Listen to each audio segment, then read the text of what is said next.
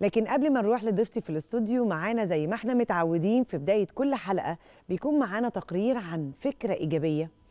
أه حاجة أنا بشوفها حالة حالة ملهمة بتغير حاجة في حياتنا. التقرير اللي هنشوفه ده دلوقتي عن مشروع أه مشروع تخرج هو هو مشروع تخرج. فكر فيه أربع بنات من طلاب كلية الإعلام. وهي حملة توعوية يعني توعية بعنوان ابن قلبي. الهدف منها تقديم المعلومات الصح عن مفهوم الكفالة. تعالوا نشوف الأول التقرير ده ونتعرف أكتر على الحملة وإيه مضمونها والبنات دول بقى فكروا إزاي. ما برضو البنات دي الجيل كل يوم بيبقى فيه فكر جديد و و و وطاقة جديدة إحنا بنتعلم منهم والله كل يوم. تعالوا نتفرج على البنات الأمارات دول عملوا إيه في الحملة دي والفكرة دي عبارة عن إيه. ونرجع بقى في الاستوديو نستقبل ضيفتنا معانا.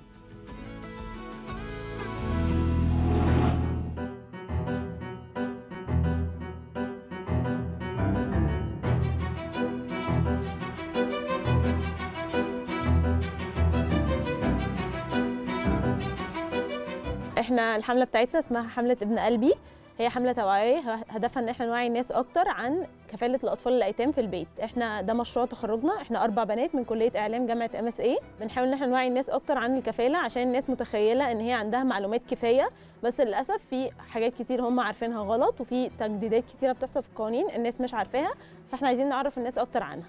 إحنا عاملين حملة on social media دلوقتي. عندنا Facebook page و Instagram page بننزل كل يوم معلومات جديدة للناس. برضو إحنا بنصور إعلانات وبنصور مع حالات حقيقية أهالي كفله ناس كفله أطفال عشان نوريهم قصص ونماذج حقيقية لناس خدت القرار ده والحياة معاهم كويسة. إيه التحديات اللي قابلوها وإزاي واجهوها وإزاي وهم عايزين الناس تساعدهم إزاي عشان هم الموضوع يبقى أسهل للناس الجاية اللي هتاخد الخطوة. وبنصحح بقى المعلومات الغلط اللي الناس ممكن تكون عارفاها. يعني مثلا الناس بتخلط كتير قوي ما بين الكفالة والتبني.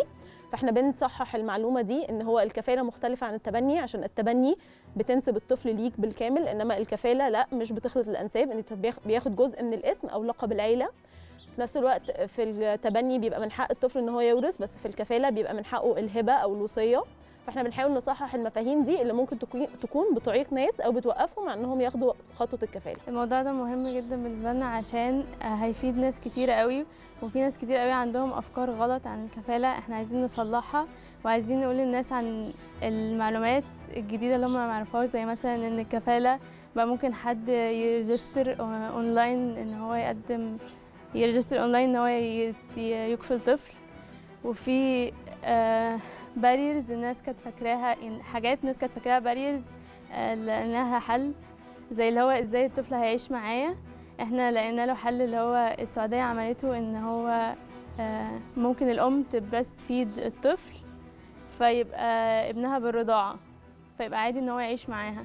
فإحنا بنحاول نلاقي حلول للناس ونحاول نخليهم يفهموا الكفاله أكتر. إحنا كلنا يعني اشتغلنا مع بعض في كل حاجة. يعني تقسم علينا يعني كل واحدة كانت ماسكة مثلا حاجة معينة بتشتغل فيها وكلنا بنراجع مع بعض في الآخر الشغل الشغل مع بعض. يعني مفيش اللي هو يعني مثلا بنجيب credible sources. يعني إحنا جبنا أكتر من 100 100 credible source والكتاب بتاعنا أصلا أكتر من 450 صفحة.